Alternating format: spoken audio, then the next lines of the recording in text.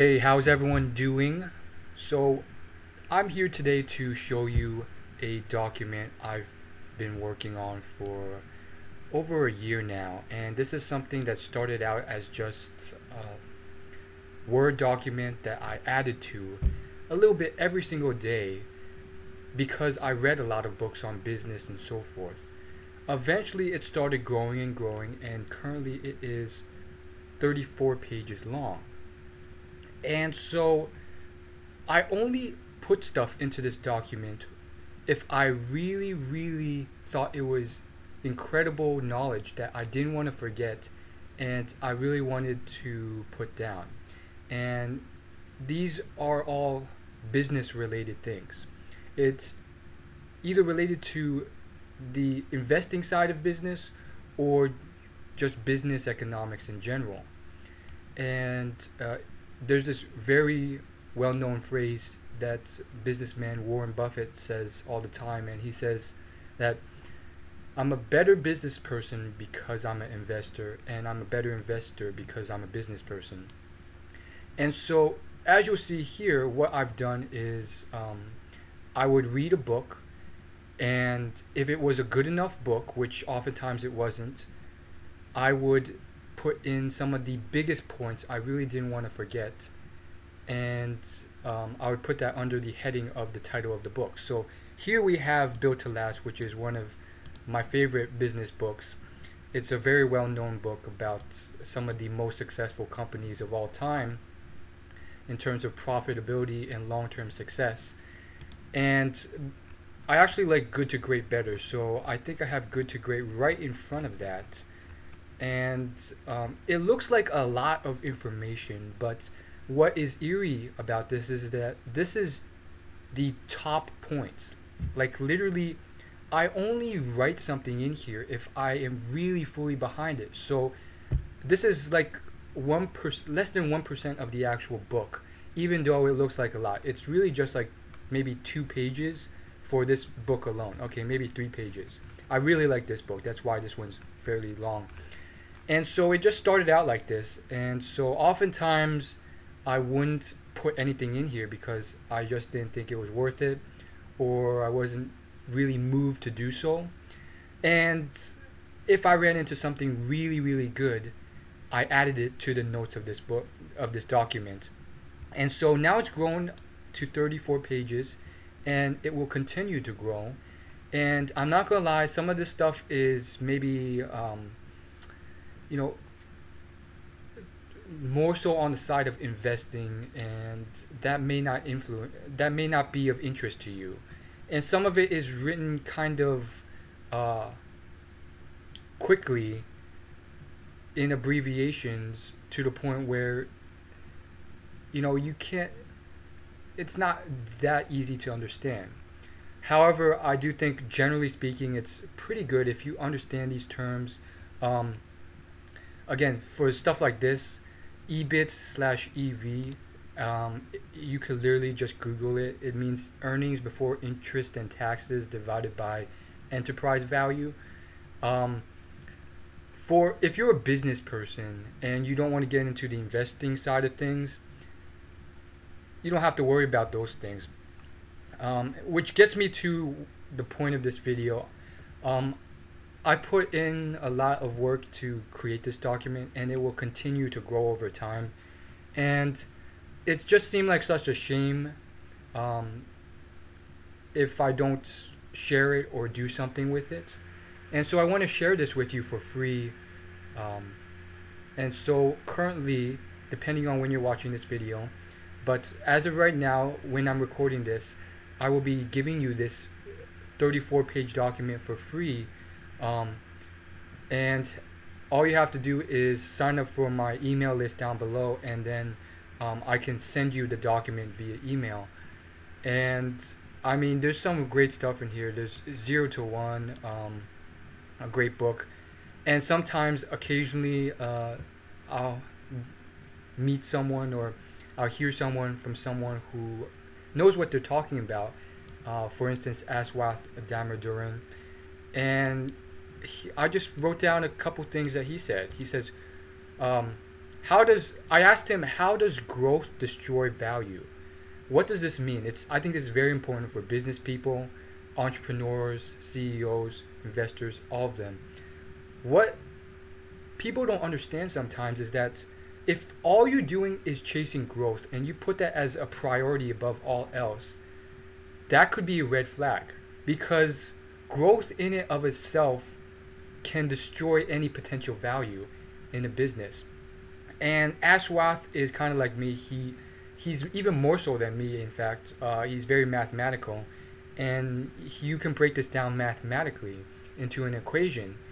Uh, but the general idea is sometimes if you're spending all the money you earn to grow and just build another store down the street and then another one and another one, if your actual returns on that growth are less than the uh, the growth reinvestment, essentially, um, it, long story short, in layman's terms, if you're spending more money building stores than the amount those stores will recreate in profits in the short term and long term.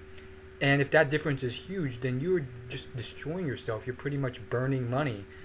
Um, and companies, a lot of times, I mean, they don't know any better. These entrepreneurs, they don't really have much business experience or knowledge.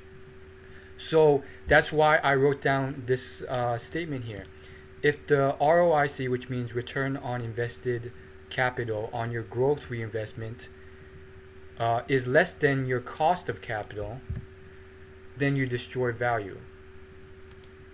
So he actually had a specific equation for that, which I feel kind of bad I didn't write down. I'll have to look it up sometime. And I have another one from Tai Lopez here. And uh, it says, um, this is actually something. Okay, I'm. I kind of. I'll show it to you, but uh, before I do, um, long story short, I took his advanced mini MBA program. It's his most expensive course. I think it cost around five hundred dollars. I think it's up to a thousand or more dollars per month right now.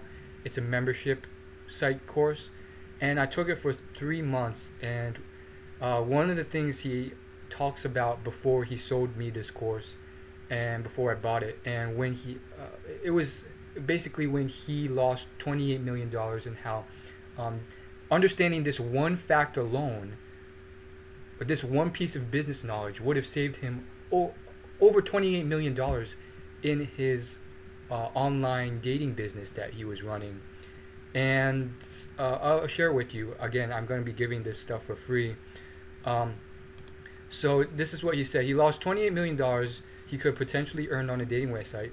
Um, and it had to do with pricing. So he priced his uh, dating company um, at a luxury cost. And this is one of the, the hugest things. People don't understand pricing and they don't understand how much wasted potential they're screwing themselves out of. And long story short, he priced his dating website like a premium dating website.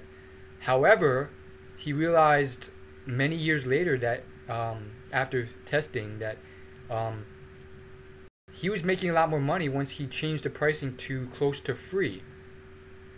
And when he back tested numbers, he would have made $28 million more.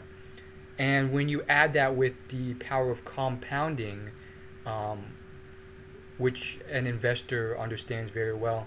That 28 million could have been 100 million, 500 million, you know, 20 years down the line. So that's a tremendous loss of potential. That understanding just a few, um, not a few, but like understanding certain things that you should be aware of can help you with. Tai Lopez didn't understand pricing at the time. He went into the market just, you know, flailing around in that area just uh, throwing out prices, which a lot of people do.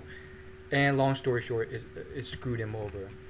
Uh, I mean, I have so much more to say about this document. It's very exciting, honestly.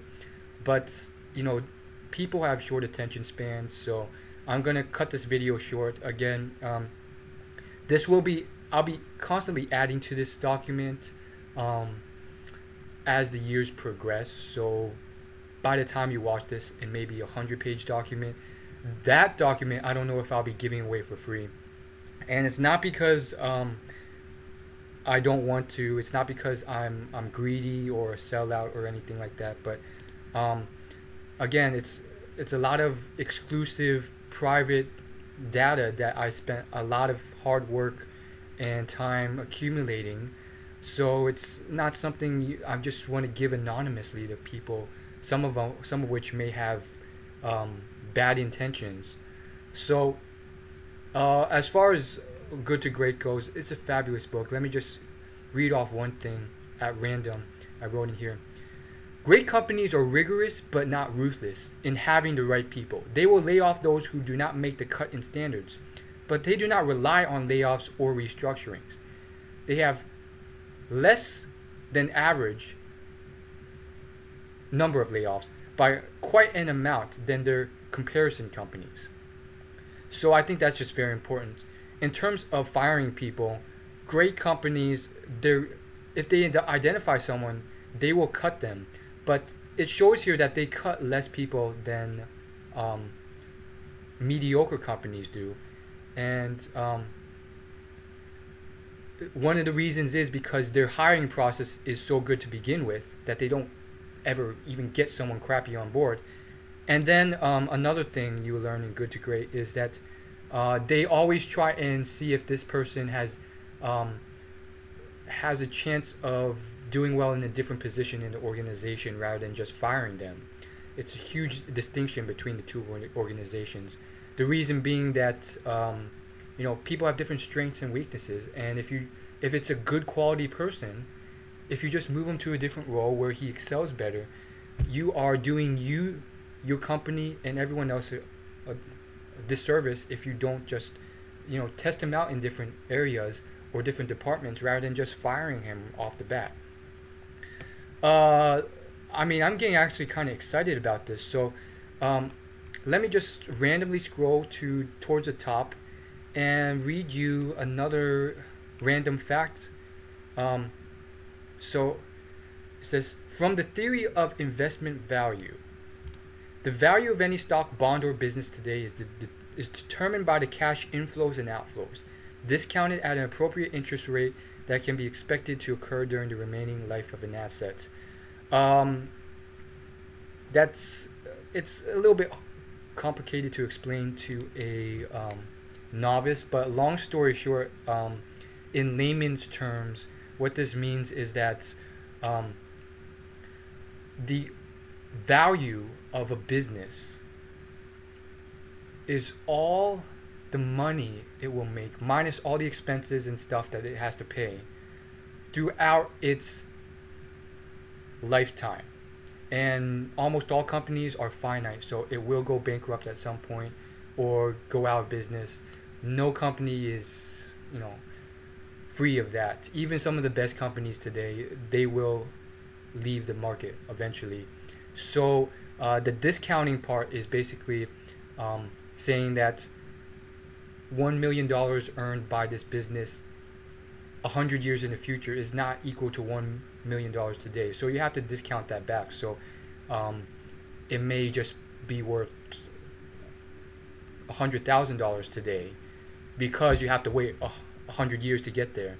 So it's a little bit of time cost added in there. Uh, this is one of my favorite books, Made in America by Sam Walton. Um, I think this is one of the.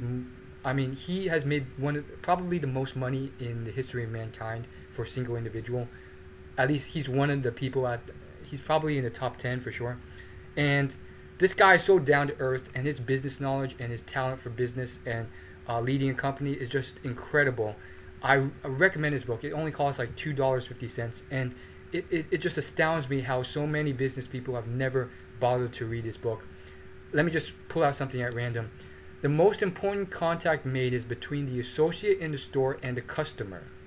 Walmart has a better relationship in this department than their competition. I think this is one of the most important facts that has made um, Sam and Walmart so successful. It's one of the reasons why Jeff Bezos is so successful. Jeff, uh, who, if you don't know, started Amazon.com and still runs it. Uh, first off, I mean, I could say a lot about Jeff, and he's actually very into space, and um, I mean space exploration, and he's good friends with Elon Musk. Um, but I'm getting off track. Long story short, um, Jeff carried around Sam Walton's book for a long time and read a lot of it, and his w- number one priority, as was Sam's, was the customer. The great he he wants to refine the quality of service and good to the customer and get as much to the customer as you can. In fact, let me read you this right here. I think it, it correlates to what I just said. The more you share your profits with your employees slash associates, whether there's salaries, bonus, incentives, stock discounts, etc., the more profit will accrue for the company. The way management treats associates is how associates treat customers. If the customers are treated well, here's the key point, they will return again and again, and that's where the real profit margin lies. Greater sales through increased amount of times the customer returns rather than cutting payment to employees down to the bone to increase profits. Not through dragging strangers into the store for one time purchases through flashy sales or advertising. This was a point that took Sam a long time to learn, and um, this is one one of the things I talk about a lot, which is um, the importance of a wife, uh, especially a very good wife who supports you and um, can help you. Sam's wife really opened his eyes a lot, um, and Sam was kind of the uh, cut cost to the bone cut type of guy.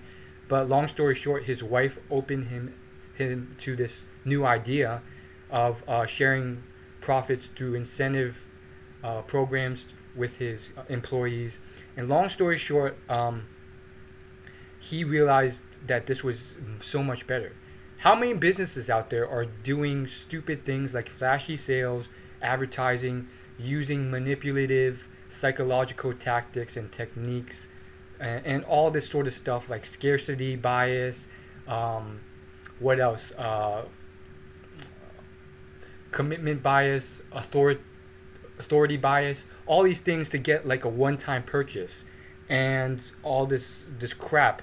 Um, but rather, what what occurs here, long story short, is um, uh, sometimes it's better to have recurrent customers coming through and deep customer loyalty and deep customer sat- satisfaction because one of the big differences is that that customer who buys one time and gets scammed or ripped off or doesn't really find much value in the product, he's probably not going to come back.